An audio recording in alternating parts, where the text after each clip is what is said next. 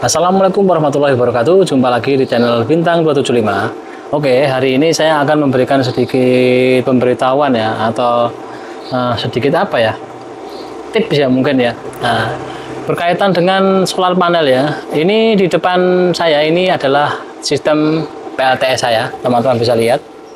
Nah, saya akan sedikit spill ya. Saya itu menggunakan panel 4400 WP dengan baterai Storek Livepo 4 600 Ah. Teman-teman bisa lihat di sini 1 2 3 4 sama itu ada dua, nanti 600 Ah sistem 48 volt.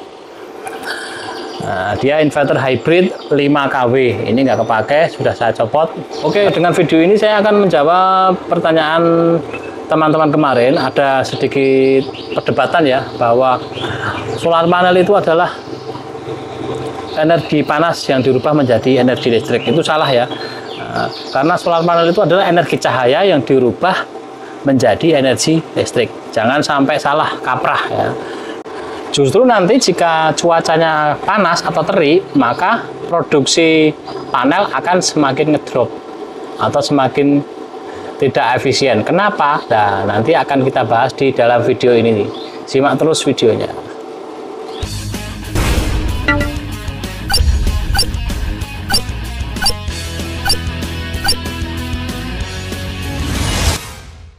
Oke, sekali lagi ya, ini di saya itu terpasang 4400, tapi di sini eh, hanya produksi di 3600. Padahal di sini kondisi sangat-sangat terik ya sangat-sangat panas.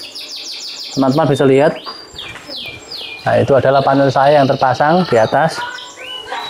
Kenapa bisa malah ngedrop? Nah nanti teman-teman akan tahu.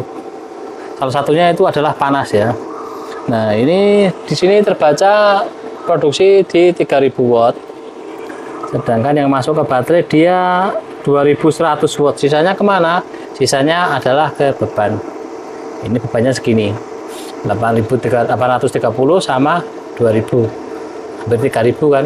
Nah ini yang masuk ke baterai yang ini masuk ke beban. Nanti produksi ini dia di direct langsung ke beban terus sisanya masuk baterai inilah kelebihan dari hybrid Hybrid itu dia dari panel dia dikonversi langsung ke beban, sisanya masuk ke baterai.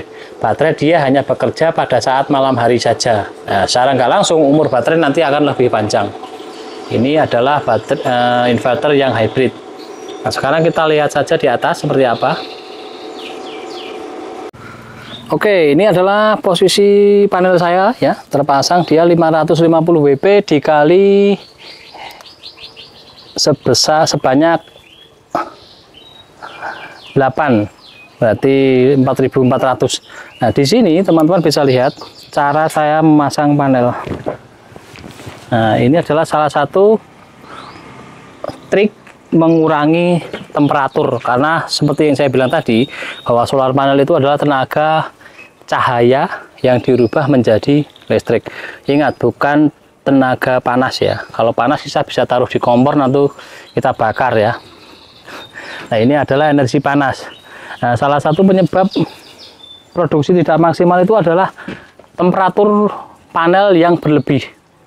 Nah, teman-teman bisa lihat nanti jika kondisi panel kita panas maka pasti akan ngedrop tegangannya atau akan ngedrop produksinya. Karena apa? Karena yaitu salah satunya adalah temperatur. Nah triknya adalah dengan cara memasang bagian uh, panel seperti ini.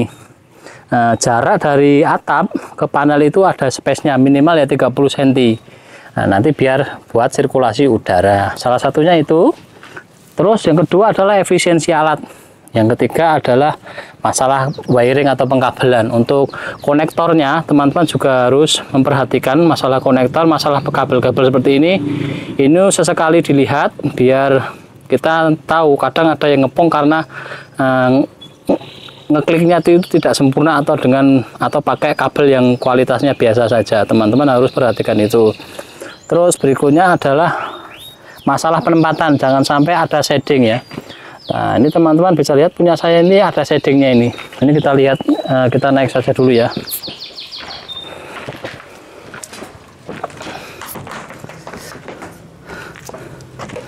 Nah, di sini punya saya kena shading atau kena bayangan. Nah, ini teman-teman bisa lihat ya. Ini adalah bayangannya. Ya, ini akan menjadikan panel kita tidak maksimal atau ngedrop. Ini kabel ini. Salah satunya itu dan juga masalah kotor. Nah, ini teman-teman bisa lihat panelnya kotor karena debu ya ini sesekali sebulan sekali lah kita cuci atau perlu ya lebih rajin lebih bagus tapi saya jarang banget membersihkan ya terus salah satunya juga adalah tembelek nah, ini adalah ada tai burung ya. Nah ini yang menyebabkan produksi tidak maksimal. Nah teman-teman harus memperhatikan itu ya. Terus masalah shading tadi itu sangat-sangat berpengaruh di produksi. Yang harusnya tadi kita dapat 4400 cuma dapat 3000 itu salah satunya juga itu.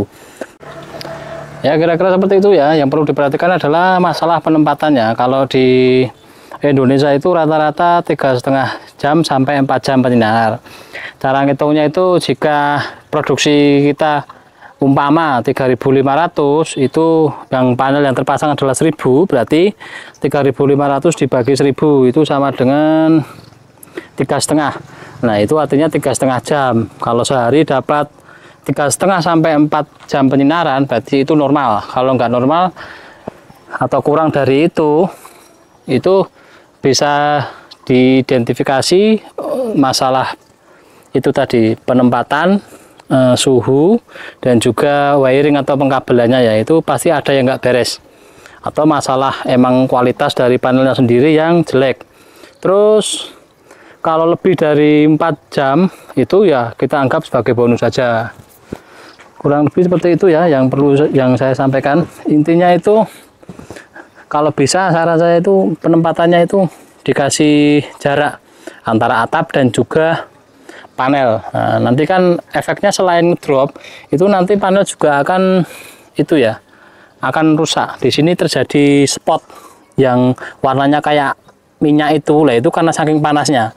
Sebenarnya alatnya ada, nanti kita deteksi di sini nanti kelihatan mana spot yang terlalu panas temperaturnya tinggi nanti itu ada cuman saya nggak punya alatnya nah itu alatnya apa saya kurang begitu paham ya Kira-kira seperti itu tip yang saya berikan. Sekali lagi bahwa solar panel itu adalah energi cahaya yang dirubah menjadi energi listrik. Ingat ya, bukan energi panas.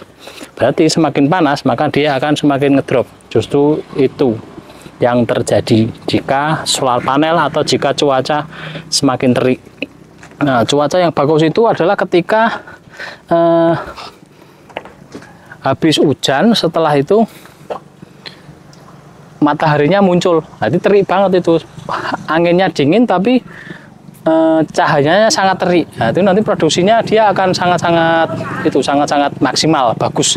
Bisa dapat peak atau puncak ya ya umpama yang terpasang 4400 nanti dia bisa dapat 4400 bahkan bisa lebih jika produksinya e, kualitas dari PV nya bagus Ya, saya kira seperti itu. Terima kasih sudah menonton. Jangan lupa like jika memang suka dengan video ini, dislike jika memang tidak suka dengan video ini.